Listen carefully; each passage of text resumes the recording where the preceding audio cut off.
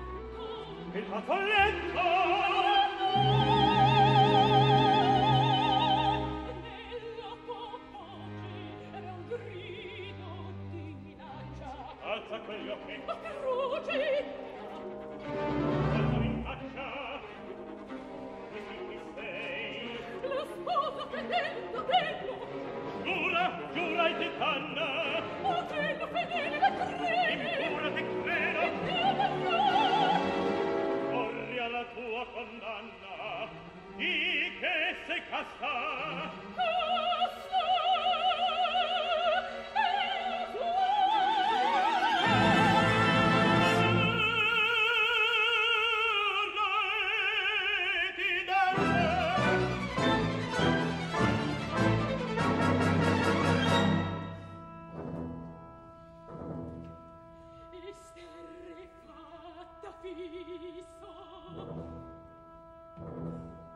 Lo sguardo tuo tremendo. In te parla